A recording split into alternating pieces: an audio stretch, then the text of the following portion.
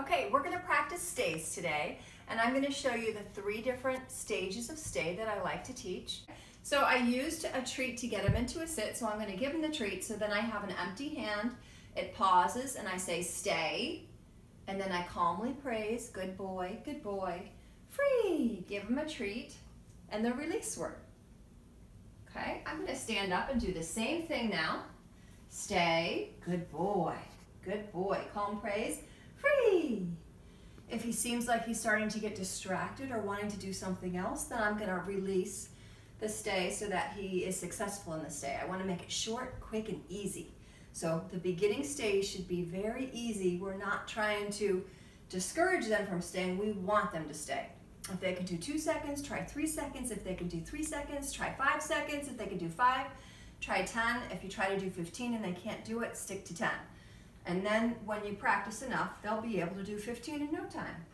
So we just did down um, sit stay. Now we're gonna do down stay. So again, empty hand, stay, good boy, good boy. And I'm gonna drop the treat right in between the feet so that he gets to eat the treat while he's laying down. Good boy. So I can keep extending the stay by just dropping treats between his feet and letting him eat. So we could do a much longer down stay. Good boy. Free. So in the stay, when I do a hand signal, the hand is empty and it pauses while you say stay and then it moves away. Calm praise while he's in the stay.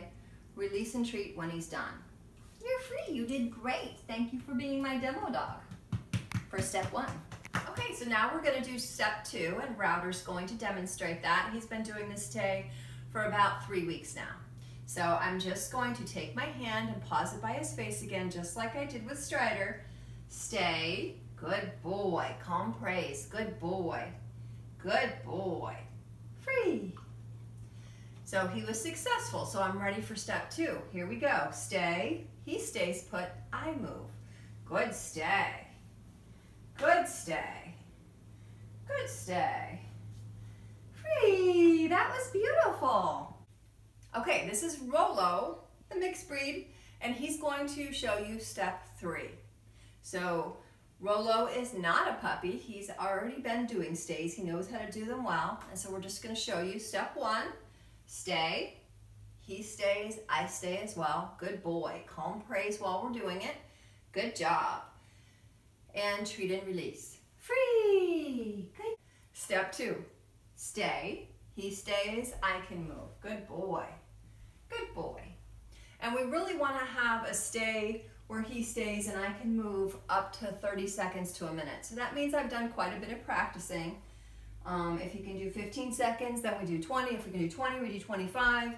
He's got to be really reliable on a 30 second to a minute stay before I'm going to go to step three. Free. Release and treat.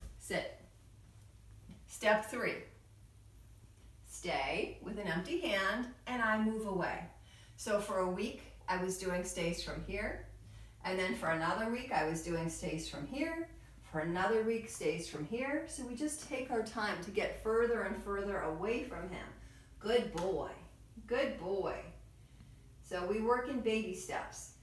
Make it easy, and as he continuously does well every time, then we start to extend it.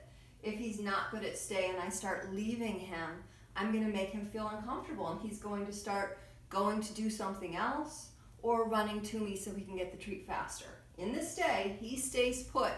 I bring the treat to him. Free. Good job. So right now I'm showing you how to do puppy stays. If I were to show you how to do a real stay, I start off in heel position.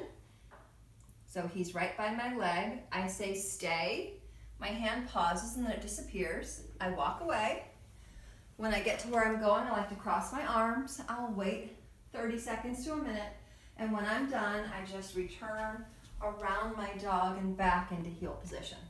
Free. So I will practice that with the puppy soon. If I take a treat and hold it to the nose, I can circle around without them moving so that I can eventually do that step three stay where I leave my dog, give space, and return around him. Let's try it one more time. Heel, stay, good boy. So I move away, Good boy. Calm praise while we're doing the stay so he knows we're still working. If he looks distracted, good boy. Just calmly praise. We don't want a high voice that will pull him out of a stay. We just want to calmly let him know he's doing good job, love. Good boy. I don't want to use his name because that could pull him out of the stay. And then when we're done, I calmly walk back, circling around and into heel position. Free! And there's step three, our final step.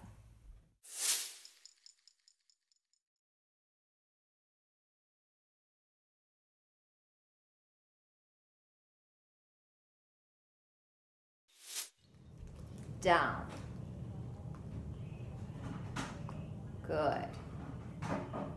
Okay, so for a Pez dispenser stay, you get them in position, empty hand says stay, and then every few seconds you give them a treat. So when they're on the ground, I like to treat the floor so that they stay laying down on the floor.